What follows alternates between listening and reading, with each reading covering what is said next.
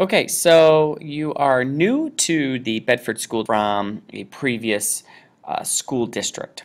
The process that you have to take is actually creating one um, activity in the PDC system and you're able to put everything in that one activity. So the way to do that uh, is you just hover over the activities uh, section and choose draft add. Once you do that, you're going to click on the green plus sign and you're going to create an activity called transferring CEUs from blank district.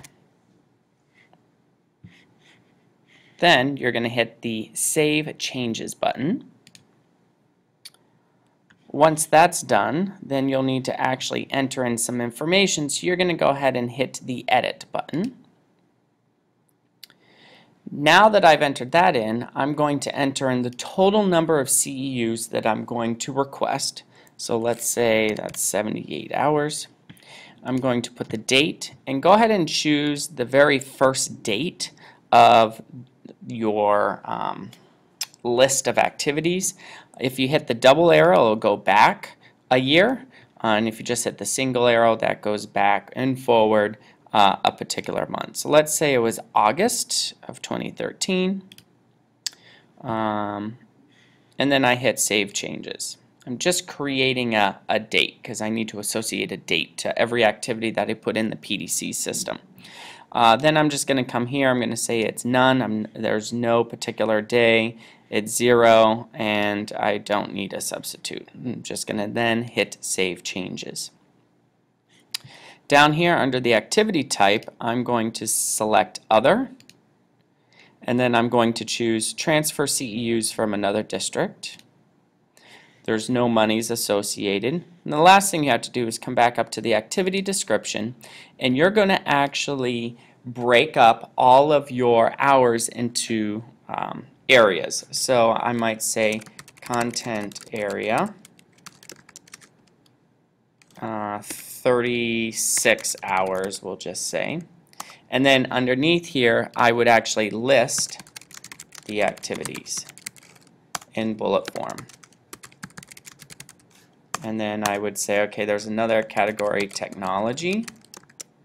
And let's say that's 10 hours. And then again, I would list them. And then there's special ed.